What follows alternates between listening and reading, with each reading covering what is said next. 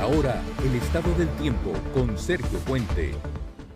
Y sigue la humedad aquí en el Valle de Río Grande. Con estas temperaturas que vemos en los bajos y medios 90, se siente más como los triple dígitos. La sensación térmica en los 102 McAllen, también Rio Grande City, 107 en Edinburgh y se siente como 109 grados en este momento en Harlingen y en Raymondville. En el radar vemos un poco de actividad de lluvias aisladas eh, cerca de Santa Rosa y Monte Alto en esas partes del valle, pero esas lluvias siguen ah, avanzando hacia el oeste, podemos ver un poco de más actividad durante las próximas horas, pero yo creo que la mayor, mayor parte de la noche será seca aquí en el valle. Durante la noche vemos esas mínimas temperaturas en los altos 70 y bueno, pues durante el día aumenta la temperatura a los bajos 90 ah, y bueno, pues también vamos a ver la posibilidad de unas lluvias aisladas más tarde. Esto es a las 2, vemos poco de nubosidad, pero mire que ah, aumenta esas posibilidades ya a las 4 y a las 5 y a las 6 days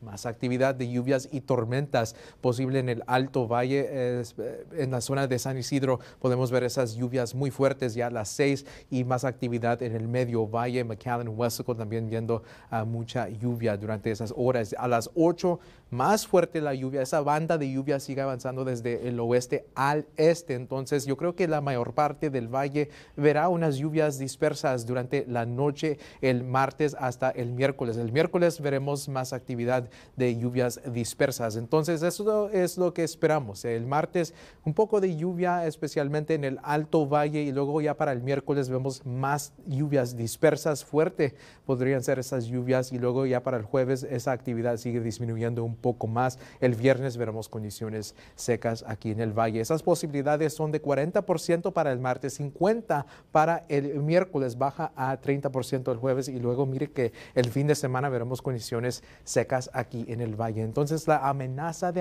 inundaciones un poco más elevada para el, el, día mañana. Vemos condiciones mínimas para el Alto Valle, pero vemos que el miércoles todo el valle podría, eh, podríamos ver esa posibilidad de, lluvias e inundaciones repentinas en esta parte del valle. Lluvias, acumulaciones eh, podrían ser de una pulgada en la mayor parte del valle los próximos dos días. Aquí les tengo el pronóstico extendido. Las temperaturas estarán en los altos 80 debido a la lluvia para el miércoles, unas lluvias y tormentas dispersas. Lluvia temprano el jueves, luego veremos condiciones más secas con más sol ya para el fin de semana con temperaturas cerca de los 96 grados. Ese es su pronóstico. Nico.